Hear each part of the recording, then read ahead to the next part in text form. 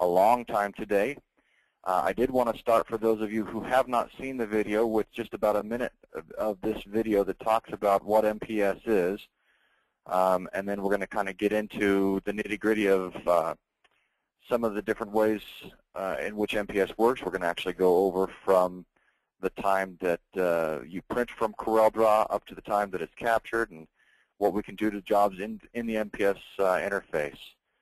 Um, so just to begin, I'm just going to start this, uh, this presentation real quick. Thank you for joining us for technical maintenance support presentation. Today's presentation will be on MPS. MPS is your sign tracking application.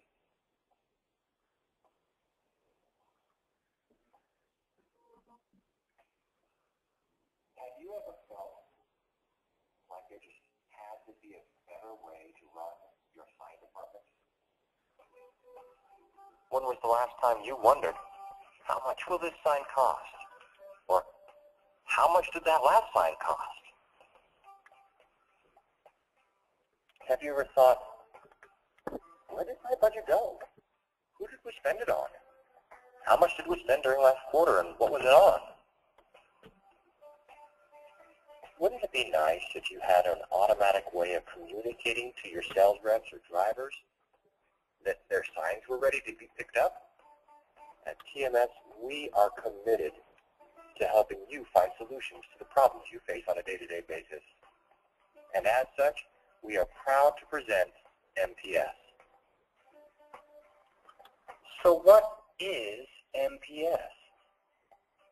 MPS is a dynamic, powerful reporting tool which gives you access to in-depth reporting capabilities as well as quick glance, easy to read charts. The best thing is, it's so simple to use. The only tools that you'll need in order to make MPS work is EFI and internet browsing capability. Let's see how it works.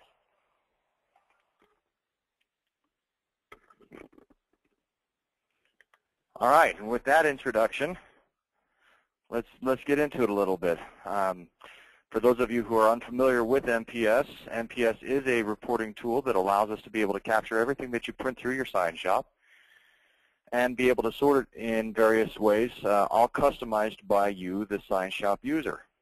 Um, MPS works as you are printing a job from CorelDRAW, uh, and you go into your EFI UniDriver.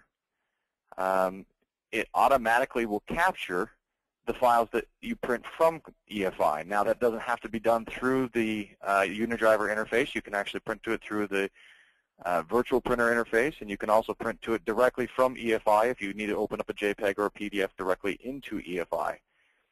Um, but once the file has been printed in EFI, it is automatically going to be sent up to the MPS website within one hour of the print time. Um, that could be within five minutes. It could be within 59 minutes. It just depends on uh, where you fell in your print cycle with uh, when it was last uploaded. Uh, MPS will then capture the job and display it in two different interfaces. The first being the dashboard, and the second being the jobs log.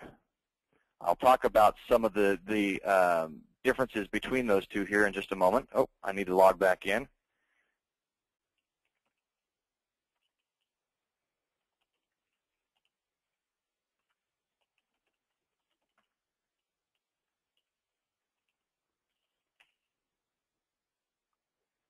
Uh, so the two different those two different uh, interfaces again were the dashboard and the jobs log. Um, and uh, once you've actually come into the uh, into the MPS interface, you'll find your jobs in both of these areas. Now the dashboard is a staging area. This is where all of the files that require your attention um, are going to be held. The jobs log shows you everything that you've printed since MPS was set up for you. Okay? The difference is that in the jobs log, if it needs your attention, it will also display this little uh, icon down here that you might see that shows uh, an exclamation point. That lets us know that it's also in the dashboard. Again, the dashboard is for all of the files that need your attention. If the file needs your attention, that means that you can confirm it. When clicking on a file to confirm the file, we have various options to be able to confirm with. We can tell it how much time we spent in creating the file, how much time we spent in uh, mounting the file to a substrate, in laminating it, and putting grommets into it, and all that kind of stuff, and you can actually add on your production labor costs. We can also assign keywords here, different keywords that are set up uh, by the user um, in order to be able to track for your specific custom needs. You also have the capability of putting on the different finishing costs that apply to that specific job. In the dashboard, we can also do group confirmation. So if you have multiple jobs that applied the same exact thing to each, we can select those different files and say confirm selected, and now we're confirming for all of those jobs so that we don't have to do this individually per job.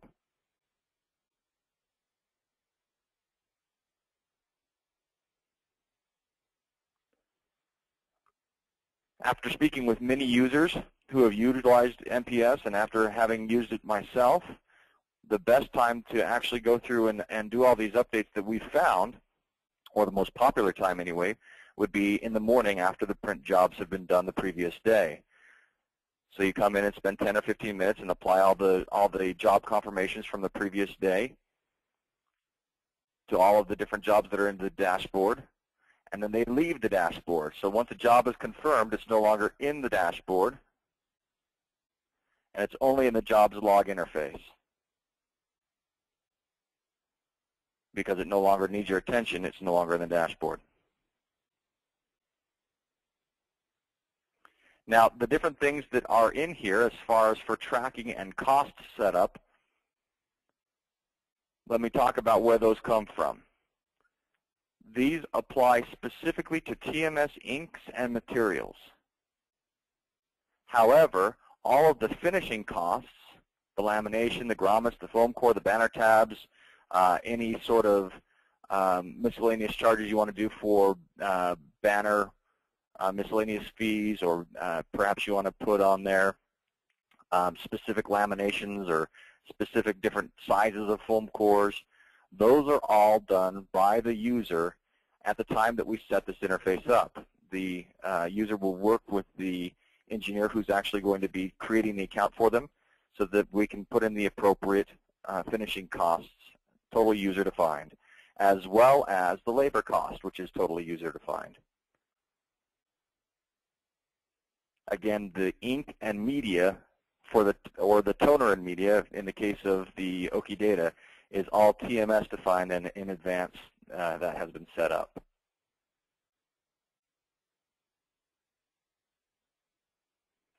Now, keywords is the other thing that is user defined. You have the capability of creating your own keywords to be able to categorize all of the files that you're printing. We can create keyword categories such as account numbers, brands, routes. You can create salespeople, special events, whatever it is you'd like to be able to do and be able to, to apply. So if we created a special sales rep for um, oh, James Kirk we could apply James Kirk as a sales rep. We could also apply the, the fact that it was for Budweiser, and then it was for Route 3, and uh, maybe it was for the special event. Maybe this one was for Halloween.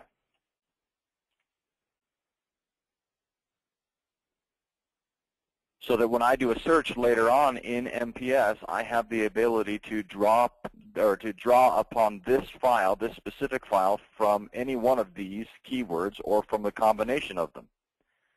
So if I want to see everything I did for Halloween, for Budweiser, this file would appear. Or if I want to see everything that I did for James Kirk, our sales rep, this file would appear. So I'm going to go ahead and confirm those. Again, that file will now leave the jobs or the dashboard interface and show up only in the jobs log interface. And we'll get more in detail about the jobs log interface here in just a moment. With the keywords, one of the neat things that we have just been uh, able to put in here is notification.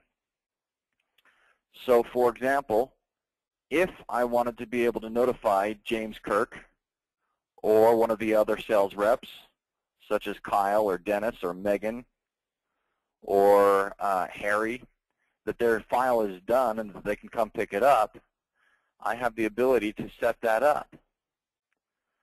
So I can come in here to salesperson and I can put in notifications and I can say that I want to know that for, um, let's see here, let's create one of these other ones. For Harry, and Harry's email address is harry at junkmail.com. We're going to add that in there. I'm going to close this out. So now when I come over here to dashboard and I apply Harry's name to this file, once I hit confirm and close, along with any other keywords I wanted to apply to this, it will automatically email Harry to let him know that his file is ready to come and be picked up from the sign shop.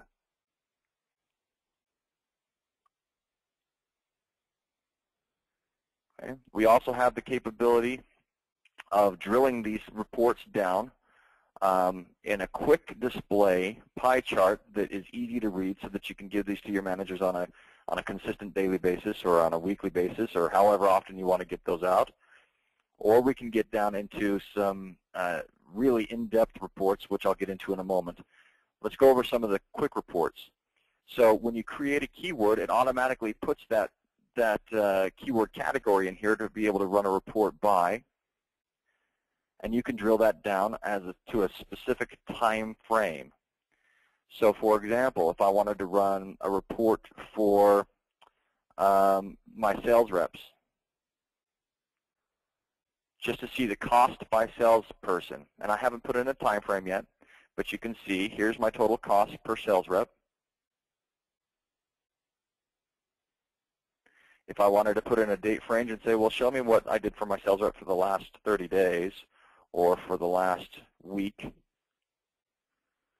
or for the last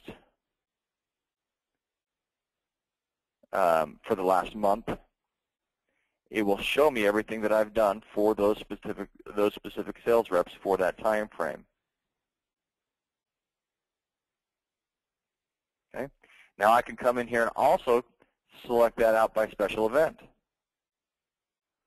So if I wanted to see everything that I've done for a special event for the last 30 days, I can do so.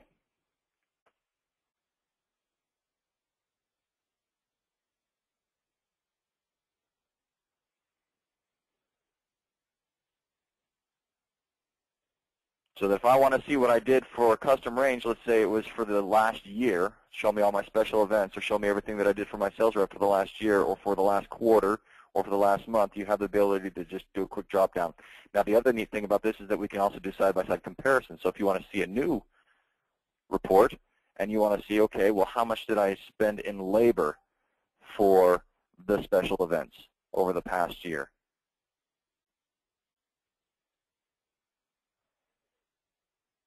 Okay, well, show me how much I also spent in um, uh, how many jobs did I do for special events for the last year. So now you're getting really in depth with what you've done for special events. For special events, we know the cost, we know how much you spent in labor, and we know how much that you uh, were able to drill that down to how much you did for per job. Okay. If we want to get more in-depth reports, we can come over here to the jobs log interface where we have the ability to actually put in a dynamic search, meaning multiple keyword functions. So if you want to know what you did for uh, Budweiser, for, um, uh, oh, let's say Route 2 for a specific date range, you can hit those in and it'll, it'll enter those for you. Let's say we want to just do Budweiser and we want to see what we did for Budweiser for March Madness.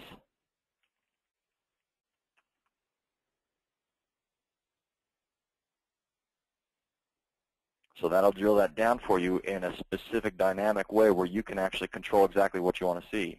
Now in both of these interfaces, both the jobs log reporting interface as well as the reports interface, you have the ability to download those re reports into an Excel spreadsheet or into a PDF. In the reports, you can download that into a PDF because there's not really uh, an Excel amount of data here. So we can download that into a PDF and then we can email that document off or we can print that document up.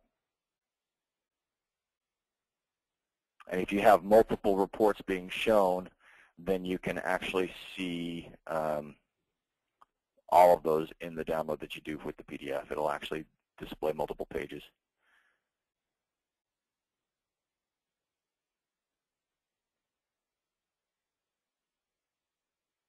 Okay. Um, under Account, one of the neat things about this tab is that it allows you to do a markup. So let's say that you want to actually give this report to one of your accounts so that they, they can actually see what you did for them for March Madness, for Joe's Bar and Grill. You can actually come in here and create a markup value so that they don't actually see your cost, but they see the going market rate cost. So they can know how much they would have been spending in these signs for their advertising or how much you spent for them on market value for advertising in their in their establishments. You can also utilize this tool for marketing purposes to be able to compare it against what you actually took in from those accounts. So not only is this a, an accounting feature specifically for the sign shop for cost, but it also becomes a powerful sales tool and marketing tool as well.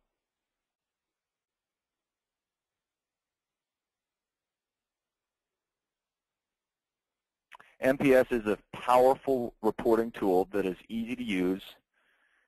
It's flexible. We have the ability to go in and add new features. We have added recent new features of being able to uh, notify um, your sales reps or notify persons when the when the files are done, as well as the ability to select multiple files at a time. We're constantly evaluating new features for their feasibility and applicability. But the nice thing about MPS is that it's incredibly simple and easy to use. So you can actually come in here and spend as much or as little time as you want and be able to get exactly what you need out of your reporting purposes for everything that you've printed in your sign shop.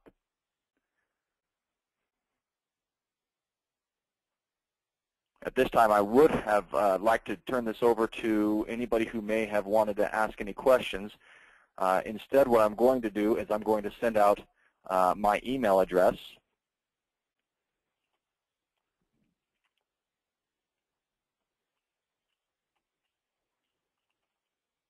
for everybody to see so that if anybody has any questions, about any of the information that they've seen in here, they can go ahead and contact me via email or they can call in and talk to uh, a support representative here at TMS, and we'll be happy to answer any questions you may have. Again, thank you for attending today's uh, MPS training, and uh, we hope to uh, hear from you soon.